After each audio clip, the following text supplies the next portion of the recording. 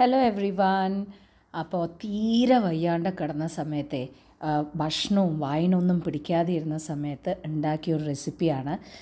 എന്താ പറയുക ശരിക്കും ഭയങ്കരമായിട്ട് വയ്യാണ്ട് കിടന്നിട്ടുണ്ടായിരുന്നു. അപ്പോൾ നാട്ടിൽ നിന്ന് വന്ന ഉടനെ പച്ച പപ്പാളിങ്ങ മെഴുക്ക് വരട്ടി. നിങ്ങൾക്ക് എല്ലാവർക്കും അറിയായിരിക്കാം പക്ഷേ എന്നാലും ഞാൻ എങ്ങനെ ഉണ്ടാക്കണം എന്നുള്ളത് കാണിച്ചു തരാം.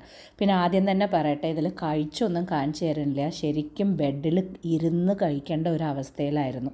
അപ്പോൾ പച്ച പപ്പാളിയുടെ തൊലിയൊക്കെ മുറിച്ചിട്ട് ഇതുപോലെ കഷ്ണങ്ങളാക്കിയിട്ട് തിന്നായിട്ട് എന്നാലോ വളരെ തിന്നല്ല അങ്ങനെ ആക്കിയെടുത്തിട്ടുണ്ട്. പിന്നെ വെളിച്ചെണ്ണ ഇട്ടിട്ടുണ്ട്.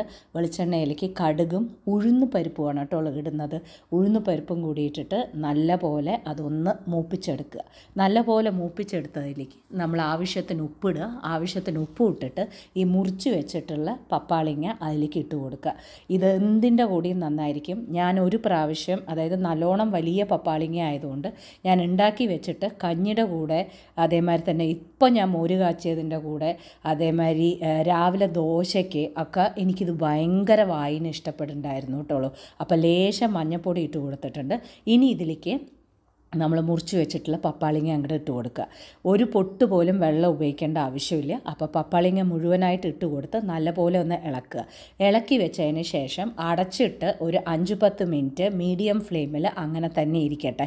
മീഡിയം ഫ്ലെയിമിൽ ഇരുന്ന് കഴിഞ്ഞതിന് ശേഷം അതിനെ തുറന്നതിന് ശേഷം പിന്നീട് കുറച്ച് ചതച്ച മുളക് മറ്റേ വറ്റൽ മുളക് ചതച്ചത് ക്രഷ്ഡ് ചില്ലി അതിട്ട് കൊടുത്തിട്ട് ഒന്നും കൂടി ഇളക്കുക. എന്നിട്ട് വീണ്ടും അടച്ചു വയ്ക്കുക ഒരു പൊട്ട് പോലും വെള്ളം ഒഴിക്കാതെ ഇങ്ങനെ ഒരു മെഴുക്ക് വരട്ടി ഉണ്ടാക്കി നോക്കൂ. നല്ല സുഖം ഉണ്ടാവും കഴിക്കാൻ. ഒരു പത്ത് മിനിറ്റ് വീണ്ടും അടച്ചു വെച്ചതിന് ശേഷം ഇതിലേക്ക് ഒരു മീഡിയം സൈസ് സവാള മുറിച്ചത് ഇപ്പോഴാണ് ഇട്ട് കൊടുക്കുന്നത്. ഓക്കെ? ഇട്ട് കൊടുത്തിട്ട് അതിനെയും നന്നായിട്ട് മിക്സ് ചെയ്തിട്ട് അടച്ചു വെച്ചിട്ട് ഇടയ്ക്കിടയ്ക്ക് ഒന്ന് ഇളക്കി കൊടുക്കുക. എപ്പോൾ വരയ്ക്കും ഇളക്കി കൊടുക്കണം? ഇങ്ങനെ സവോളയൊക്കെ നല്ലപോലെ അതിലേക്ക് പിടിച്ച് പപ്പാളിങ്ങി നല്ലപോലെ ഒന്ന് സോഫ്റ്റായി നല്ല ഒന്നൊന്ന് വിട്ടിയിരിക്കുന്ന പോലെയുള്ള രീതിയിൽ മെഴുക്ക് വരട്ടി നിങ്ങൾക്ക് ആയി കിട്ടും. ഇതിന്റെ കൂടെ മോര് കാച്ചിയതും വെച്ചിട്ടാണ് ഞാൻ ഭക്ഷണം കഴിച്ചത് കേട്ടുള്ളൂ ശരിക്കും പറഞ്ഞു കഴിഞ്ഞിട്ടുണ്ടെന്നുണ്ടെങ്കിൽ വായയ്ക്ക് നല്ല ഒരു ഫീലിംഗ് ആയിരുന്നു. കുറേ ഉണ്ടാക്കി വെച്ചു. എന്നിട്ട് ഇടയ്ക്ക് ഇടയ്ക്ക് എന്താണോ കഞ്ഞിയാണോ മോരും വെള്ളം കൂട്ടിയിട്ടാണോ എന്നുള്ളത് അറിയാതെ ഇങ്ങനെ പോയിക്കൊണ്ടിരിക്കുന്ന സമയത്ത് ഏറ്റവും എന്നെ സഹായിച്ചിരുന്ന ഒരു കാര്യമാണ് പപ്പാളിങ്ങ. എന്താ വെച്ചാൽ പച്ച പപ്പാളി ഉണ്ടാക്കിയിട്ട് ആ ഉപ്പേരി വെറും ചോറും പപ്പാളിങ്ങയും മാത്രമാക്കിയിട്ട് ഞാൻ കഴിച്ചിട്ടുണ്ടായിരുന്നു. ഏകദേശം ഒരു പതിനഞ്ച് ദിവസത്തോളം ഇങ്ങനെയൊക്കെ തന്നെയായിരുന്നു സർവൈവൽ.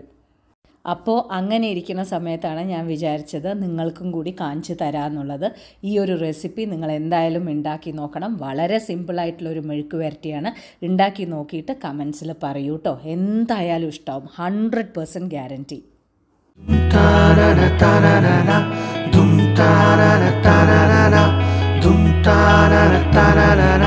Vinny's Kitchen.